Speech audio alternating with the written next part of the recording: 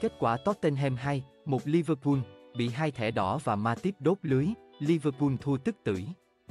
Ở trận đấu giữa Tottenham vs Liverpool tại vòng 7 Premier League 2023-24, đội chủ nhà đã có thắng lợi 2, một rất ấn tượng trong ngày các ngôi sao của huấn luyện viên Jurgen Klopp không giữ được bình tĩnh.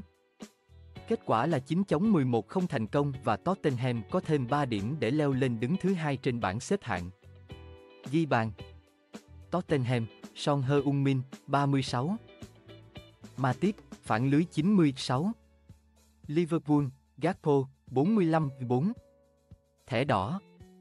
Liverpool, Curtis Jones, 26, Jota, 69 Đá với Tottenham, Liverpool có lợi thế không nhỏ bởi nhiều trụ cột của họ đã được cho nghỉ ngơi vào giữa tuần.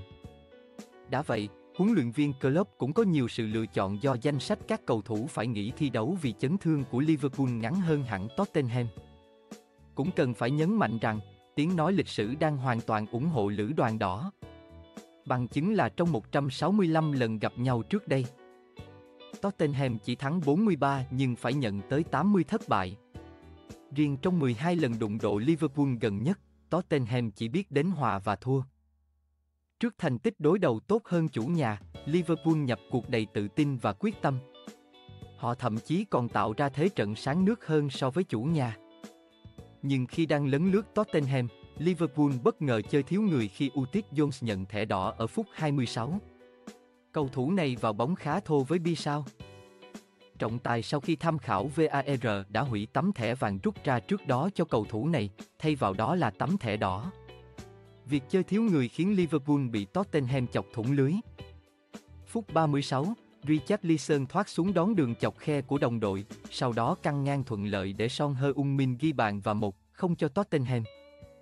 Vào thời khắc khó khăn như vậy, Liverpool không hề bị ảnh hưởng về tinh thần. Họ vẫn nỗ lực ép sân và tìm được bàn gỡ hòa vô cùng cảm xúc ở phút bù giờ thứ tư trong hiệp một khi Gakpo lập công với pha xoay người và dứt điểm rất bình tĩnh. Gakpo ghi bàn nhưng không đủ giúp Liverpool ra về với một điểm. Bước sang hiệp 2, Tottenham tạo ra sức ép nghẹt thở về phía khung thành Liverpool. Thủ thành Alisson phải liên tục trổ tài cứu thua cho Liverpool. Đến phút 69, Tottenham còn chơi hơn tới hai người khi Jota nhận thẻ vàng thứ hai và phải rời sân. Chơi hơn người nhưng Tottenham tỏ ra quá vô duyên trước khung thành Liverpool. Việc chỉ có 9 người trên sân khiến Liverpool chỉ biết cố gắng thủ hòa. Họ làm rất tốt điều ấy cho tới phút bù giờ thứ 6 hiệp 2. Trung vệ kỳ cựu Matip trong nỗ lực truy cản tình huống căng ngang của đối phương đã đốt lưới nhà rất vô duyên. Qua đó giúp Tottenham đánh bại Liverpool với tỷ số 2-1. Với kết quả này, Tottenham leo lên xếp thứ hai trên bảng xếp hạng ngoại hạng Anh khi có 17 điểm như Arsenal nhưng có hiệu số tốt hơn và chỉ kém đương kim vô địch Man City đúng một điểm. Đội hình thi đấu Tottenham vs Liverpool Tottenham, Vicario, Toro, Romero, Van Jeven, Udogi, Sa, Bisao, Kulusevski, Madison, Richarlison. Son Heung-min Liverpool, Alisson, Gomer, Matip, Van Dijk, Robertson, Sergio Bolia, Callister, Curtis Jones, Salah, Gakpo, Diaz,